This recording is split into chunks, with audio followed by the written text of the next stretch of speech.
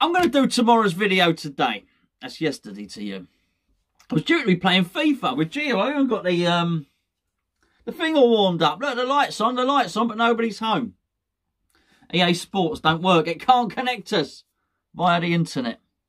Ridiculous, isn't it, really? I guess I have to put on a back burner. I was due to be Burnley. He was due to be West Ham. We all know what was going to happen, but I was going to try and make it difficult for him. I was going to do it tight. I was going to, I was going to park the bus.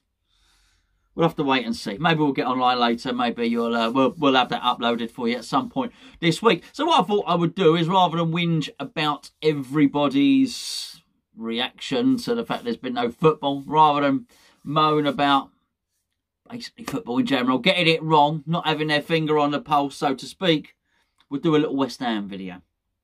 Now, what we'll do, I think, is we'll have a look at the current squad and whether they'll be off ski or whether they're staying. But we'll, we'll look at it in light of the fact that some people just might not want to be here. There ain't going to be much money in football. Within the context of the current situation, later on in the week, myself and Gio are doing a. Um, we're having a look at some players in the French league, I believe, because David Moyes has said he wants to look at the French league. And of course, he wants to look at the championship, which we know. So let's just go through the players one at a time. Lucas Fabianski. Now, um, I think he stays. I think Lucas Fabianski stays. Whatever happens, he's very well settled. You've got to remember, Fabianski, it's not like he's going to be pining to go home. He's been in this country for years and years and years, at Arsenal, at Swansea, and he's obviously very, very settled here. So I think he stays. He's not also, he's also he's not on this, he's not burdening the club with massive amounts of money. So, Roberto, well, I'd like to think Roberto will be off, but who's going to take him? So I think there may well be an option in all of these, which is settlement. I think we may be making a settlement at some point for him to go. So you've got David Martin. David Martin's not on a big wage, which I think is why he stays. I think he's only got one year left on his contract. They're not going to pay it up. He's a he's a bit of a folk hero at West Ham, isn't he? Apparently, he's very very good in the coaching department, good on the training ground possibly our lowest earner in terms of first team wages as well. So I think he stays.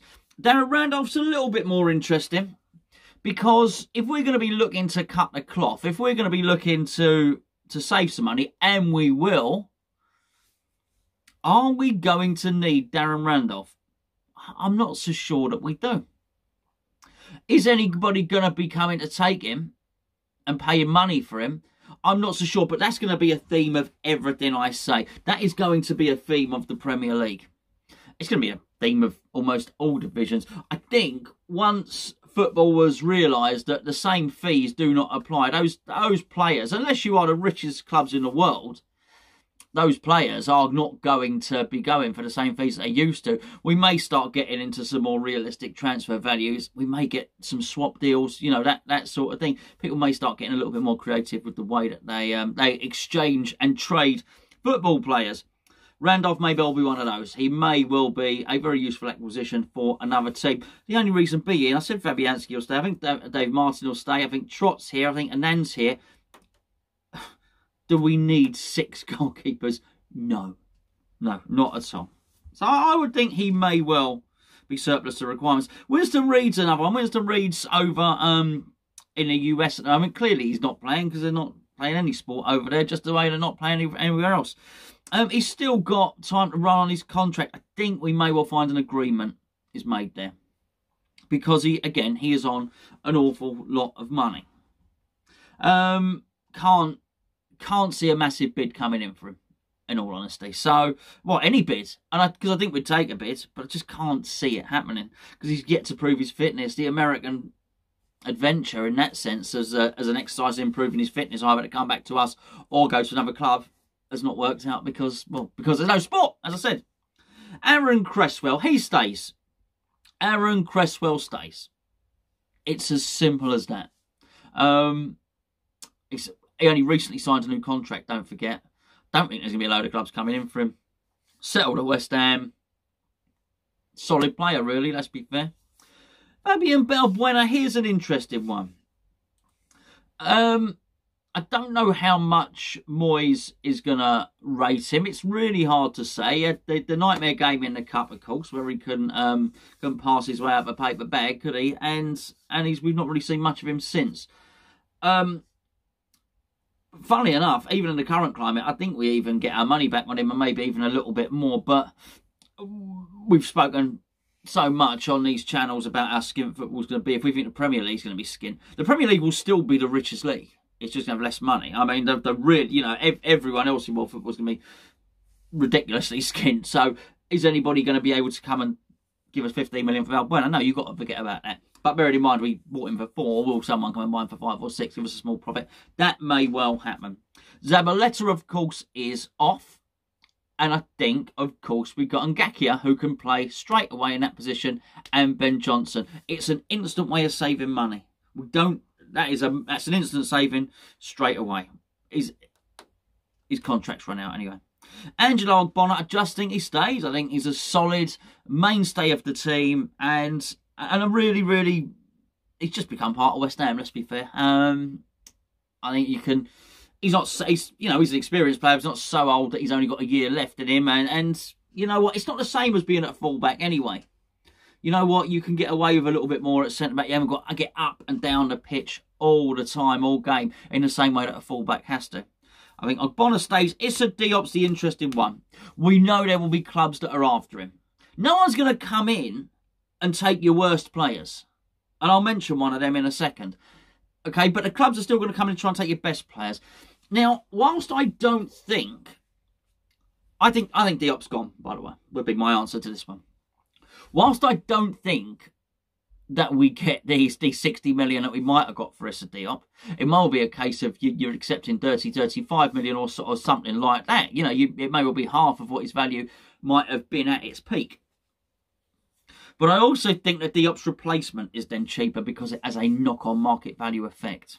I think if you can sell Issa Diop for 30 million quid and then you buy somebody like Joe Rodon from Swansea, who is probably the best up and coming centre half around from the Championship, which we know David Moyes likes, for 15 million, it's still good business.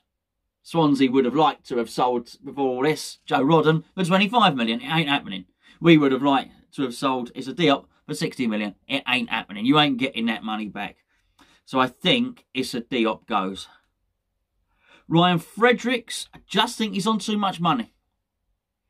Now, uh, he's again, he's one of those players that he's prohibitively on too much money. I think we'll look at it and think, oh, 50 grand, a lot of money. We need to trim, we need to trim some wages from there. But I also think that maybe another club looks at him and thinks that's an awful lot of money. The real bonus that we have in terms of Ryan Fredericks is the fact that he um, he didn't cost us a penny. So actually, if someone else is picking him up on a free, they may well take him. I think Fredericks goes. For the reasons that I said earlier on, I think Ben Johnson, I think Ngakia can cover that position. If he's on 50 grand a week, I think Zabaleta is on 80 grand a week. That's a massive saving by letting those two go. Um, Arthur Masuaku's um, is half a massive problem, quite frankly, because well, he's not half a mate. He is he is a massive problem uh, because no one's going to want to come and buy him. Um, he signed a five-year contract. Maybe if somebody is interested, we are, we're going to just have to just have to suck it up, like it, and lump it. Quite frankly, we're just going to have to say, all right, fair enough, Arthur. Off you, you know, off you go. We'll take two million from whatever club might fancy him, and his wages are gone. Um, I think I I just think that is going to be very, very difficult. But again, the same thing. Ben Johnson can cover left back as well. I just think if you're cutting your cloth, you're shrinking the squad slightly. That's something that, that needs to be done. Uh, midfielders, Manuel Lanzini. Um, I think Lanzini stays. I really do. Um, I just don't think there's any value in getting rid of him at all. None, none whatsoever. We will not get, not only will we not get our money back, we won't get anywhere near the money. I, I still think the player's there. I hope during this time that he's come back. Um, that I don't know. It's going to be really interesting. Personalities and characters going to come into all this a lot. You're hoping a lot of players look at it and really miss football, want to be playing football, make them realise how lucky they've got it, come back. I'm hoping Lanzini's going to be one of them. We're certainly not going to get any money for him. Um, Robert Snodgrass will stay around. He's a big character in the team. I think he's a, it's, it's a funny one because I think they were about to activate an option for a contract extension. Not sure if it was done yet, if it is done, then all well and good, he stays around. If it's not done yet, I don't think they'll do it. Just purely because if they maybe not be able to afford the extension. Lanzini's on massive money. We're going to take a massive hit on Lanzini, so I think they, the other players are different. I don't think anyone's going to come up and pick up Lanzini's wages. So that's going to be a really, really tough one. Sanchez is off. We don't have to worry about it. Mark Noble, clearly, I don't even have to speak about because he's a captain. He's West Ham and he's staying. Uh, Fornal stays. Fornal stays because I am. It's not. I, it's not. I'm saying. I'm not trying to pick and choose who I want to stay and stuff like that. It's whether they will stay or not. Because ideally, I'd like Diop to stay, but I think he's gone. I think Fornal stays though. I really do. I think he's a. I think he's got a lot of character. I think he's got a lot about him. I've told the story many times about Oxford when we lost 4 0. He was the only player to come over and actually come and start shaking hands with the crowd. Didn't stand 10 metres away, actually came. He was the only one. He was saying sorry, gave his shirt to a kid, and, and the only one that felt brave enough to approach what was a hostile crowd because we were annoyed at going out, uh, out in a competition. There's character about him, there's no doubt about that. Jack Wilshere, Jack goes. Jack goes. Jack reaches a settlement. I think even you're hearing public utterances from him now where he's saying it didn't work out. Again, I think there's a settlement to be had there because at that point, the start of next season, he will have one year left. Uh, Thomas Soucek, it's clear. I approached the club. I asked the club about this. If we're in the Premier League, he stays. If we're in the Championship, he doesn't. The deal is already done. Declan Rice stays might seem a little bit surprising. Um, listen to Gio's video, what he said about the midfield there. Um, uh, what do you say? Uh, Kovacic and Jorginho, but of course Kante there as well. And I got the young lad coming through Gilmour, who Roy Keane says is world class. Uh, between that and between what Gio said, I'm sort of quite convinced that Chelsea aren't gonna aren't gonna want him. Um, the only other one is Manchester United. Now Manchester United apparently are are going to be buying, will want to buy Harry Kane. Um, Manchester United want, are going to buy Bellingham, who's a very, very good player from Birmingham, excellent young player. Um, apparently, they're after Sancho. Not going to be able to keep buying players for big money. If they want Declan Rice, they're going to have to come up, I think, with a creative trade. I just don't think there is one at Manchester United. I don't think there's one that offers us any value at all. Maybe you can think of something. If you do, pop it in the comments below. Off the top of my head, I don't. I just don't. Can't see anyone coming in and paying the money.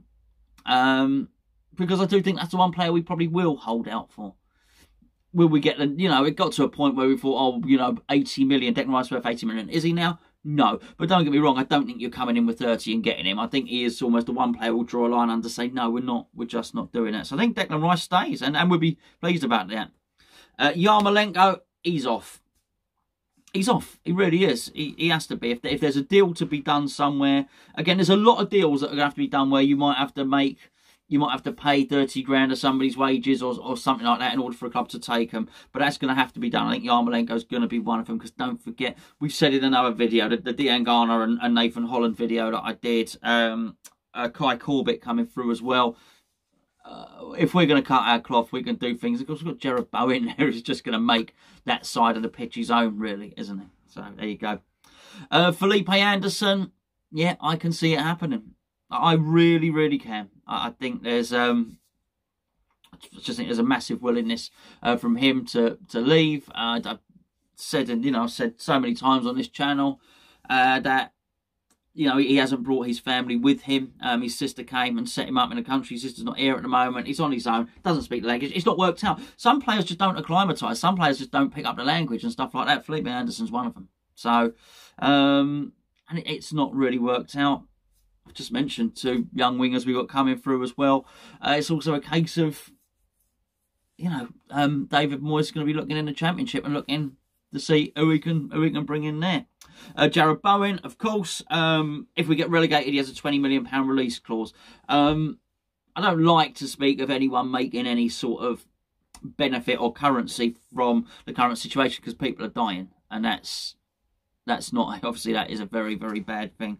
Um, but whilst beforehand, if he'd have finished the season, scored loads of goals, there would have been a ton of clubs who might have thought 20 million is affordable. Uh, there ain't going to be too many clubs are going to come in and think, actually, I'm going to pay 20 million for him. So um, I think even if we did get relegated, I think he'd probably stay at West Ham anyway. Sebastien Haller is probably the toughest one to call, actually. Really do. I just, I can't. I mentioned before, unless there is some sort of swap deal with with Yussuf Poulsen, who Moyes seems to like, and I understand why he likes him. I can't see anyone coming and paying the money for him. And I just wonder, it, it just boils down to Moyes. How much of a tune does he feel he is going to get out of Sebastien Haller? If I had to, if I had to bet, if you gave, if I had to put a fiver on him staying, on him being here next season, or him going, I think if I had to put a fiver on it, I would bet on him staying. But I think that's, it's, as I say, it's the hardest one to do. Uh, Jetty, he's off. Why would he stay? He's not featuring. Um, again, he probably wants to go home or somewhere where he's wanted. Just can't see him staying around at all. Uh, Moyes didn't fancy him. Pellegrini didn't fancy him. Uh, the fans don't know who he is. He probably don't want to be. I just don't. It ain't worked out. Really hasn't. Let, us be let's be perfectly honest with you. Um, so excuse me. Good job, not a vampire. See that sun there? Um, anyway, one more, one more on the list. Well, I'm, I'm assuming the list's right. It's from West Ham's own website, for goodness sake. It's Michail Antonio. Michail Antonio stays at West Ham.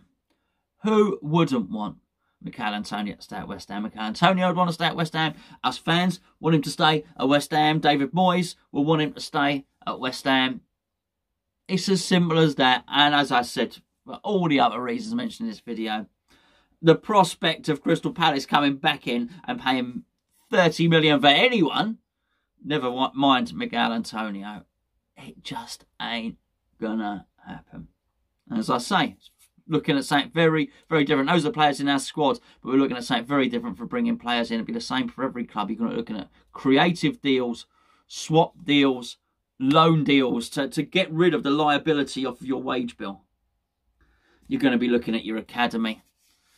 And maybe one or two permanent signings, but I, but I expect permanent signings to be to be quite rare unless they are freebies whereby you feel that you're doing a favour by getting somebody off their off their wage bill. There you go. Bit of a West Ham video, something a bit different from the norm, isn't it? I'm sure I'll be um, I'm sure someone will put their foot in it in football and do something quite crass and greedy.